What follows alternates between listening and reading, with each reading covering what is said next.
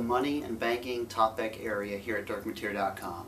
There's a lot of great content in this section of the website, so I'll just uh, tell you about a few of my favorites here, and then I'll let you explore on your own. So money and banking, the first thing I always think of is It's a Wonderful Life, and the classic bank run scene that's depicted in that movie.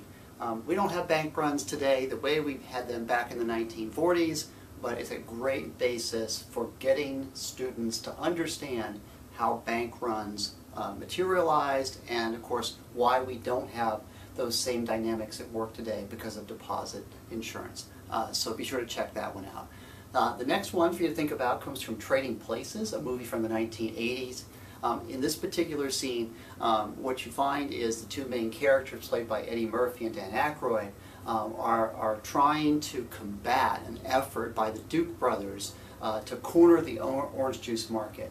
Um, and it gets into the trading aspects uh, that are very important in the trading pit, and you get a sense of how these financial markets work in a much bigger sense, and also how they can be manipulated, which I think is a very important topic uh, to be able to understand today. My final recommendation comes from Confessions of a Shopaholic, uh, and uh, this more recent movie uh, basically describes how one particular uh, consumer uh, has a problem with her credit card. She can't stop using it.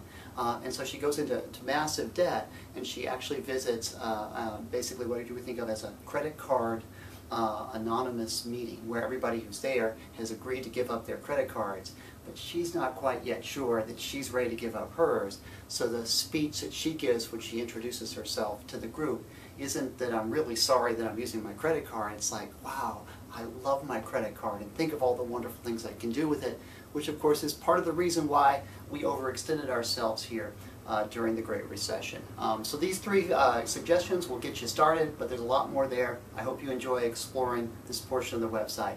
Have a good one.